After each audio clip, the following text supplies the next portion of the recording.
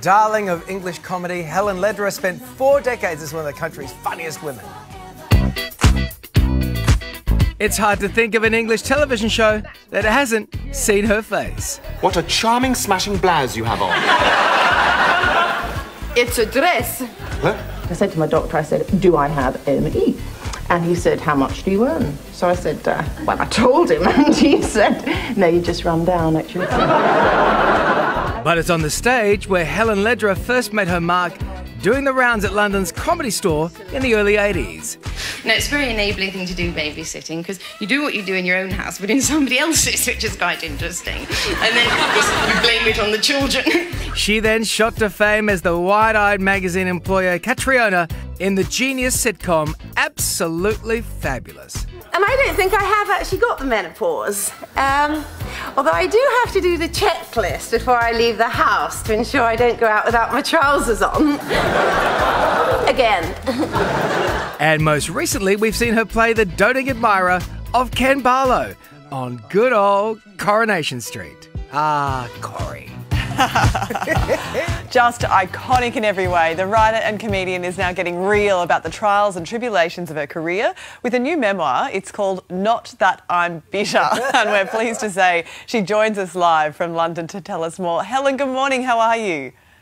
Oh, good morning to you. How exciting to be with you in Australia. Sort of almost. Sort of, but not. kind of. Um, Yes. We love the title lovely and of bright, your book. I have to say. Thank you. Well, you know, we're dressing for the mornings here. we're, in the, we're in the future for you. Um, tell us, what is it exactly that you are not so bitter about? Well, I was hoping, and I, you tell me. I mean, did you see some irony in the title? Because you know when you say I didn't know what to call it, and then when you're talking to someone, then you're saying something about someone, and then you're not that I'm bitter. Then people know you might be a bit, but not really, because I'm not really, but I am slightly. Because at this age, I'm kind of looking back and collecting up some disasters and some truths. People have said the book is alarmingly truthful, which I don't think is a compliment entirely. um, but, um, but I don't know how else to do things because. You, you know, this is, you know, you have to be truthful and authentic if you want to make people laugh and know that you're not fibbing and exaggerating and embellishing. Well, Helen, I mean, with a career like yours, it's so incredible. And when you look back on it, you know, as this book maps out, you know, what stands out for you as like, you know, some of these times that were you're not that bitter about? Well, I don't know if this happens in Australia, so you tell me. But um, we have quite it, this kind of hierarchy in in in comedy. So it's it, it's a case of accepting your position. So I'm in the middle. I'm not in the elite, so I feel that I've actually helped the people stay in the elite bracket by being in the middle. Yeah. Uh, not that I'm bitter. Um, and I started out as a stand-up comedian, as you can see there, so wringing my hands with anxiety. So I try and remember what I'm talking about. Um, and then got into the kind of some iconic uh, British comedy, you know, like Ab Fab, indeed, you know. Um, but um, gosh, it's so late at night here. What did you ask me? You're so right. That was good. I Oh, like I, that. I want to talk about Ab Fab. You know, when you started in the 80s, it was such a male dominated scene, comedy. Mm. In Ab Fab, you got to write comedy as women for women. How exciting and refreshing was that?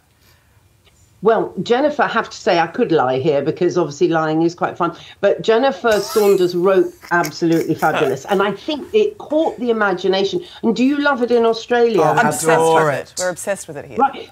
But isn't that interesting? Because I think it just caught a moment of the late 80s, 90s when there was just a ridiculous amount of money going on. You know, just eh, people would make TV pilots, like really rubbish programs, but there was just money. So, oh, we're doing a, a program about desks. Let's have a pilot, you know. and um, they, and we were making fun of PR people, um, and so it was just such a colourful canvas. And then more and more very very famous and intellectual people and and pop stars wanted to be in it. But I was quite lucky because we called ourselves a Sloane Ranger, which we don't use now, a sort of very benign, useless person who just sort of hung around the office trying to be helpful, but um, was pointless in every way, um, even to the plot.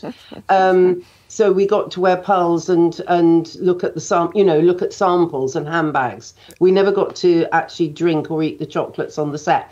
But it what? But you're right. I mean, I think it, that program made so many people happy for a very long period of time. But I didn't know that. You know what it's like when you're younger. You just turn up, do the job, try not to annoy people, not overstep your position, um, and be a bit of an airhead, which of course um, isn't too far from how I am. Well, speaking of not trying to annoy people, I think in the book or you, you mentioned that you worked with the late great Rik Mayall, and he said to you, "Well, "Don't don't tread on my laugh lines." Was the advice he gave you? What was it like, you know, in the '80s, coming up in that period of time? You had Mayall, you had Ben Elton, all those like greats of comedy. What was it like being a female in that space? Yeah, well, I met them. I think it was in 1982. It was the year of the stand-up comedy at the Edinburgh Fringe Festival, and I know you get a lot of amazing Australian comedians going to the Fringe, and we should go to Melbourne and all that.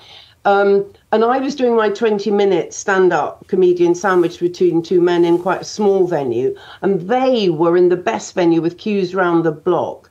Uh, to see them, and that was the year of the stand-up, and that's alternative comedy started.